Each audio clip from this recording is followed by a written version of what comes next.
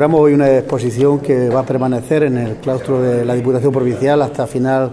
del mes de septiembre. Y una exposición que para nosotros es importante porque pretende dar a conocer el esfuerzo, el trabajo que se ha realizado por distintas entidades eh, andaluzas de cara a lo que es la reconstrucción de Haití, un territorio que sufrió pues, importantes dificultades en el año 2008 con motivo de las tormentas tropicales, de los huracanes que padeció y que la Casa del Pobre, dos años después, pues, sufrió ese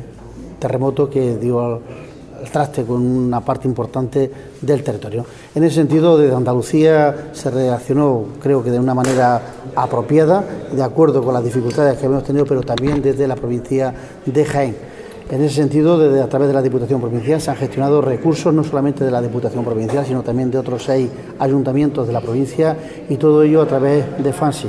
de la Fundación Andaluza para eh, sobre la solidaridad internacional, en el que se ha hecho un buen trabajo en la reconstrucción de Haití. En total, con fondos que ha administrado FANSI, la Junta de Andalucía y otras instituciones, han sido casi 1.400.000 euros los que hemos tenido oportunidad de invertir en este territorio que ha sufrido esos importantes daños y ese sufrimiento por parte de la ciudadanía.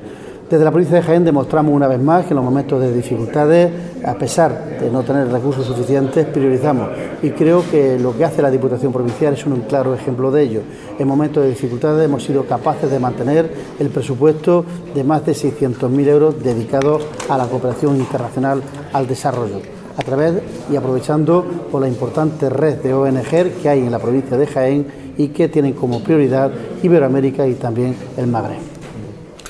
Al margen de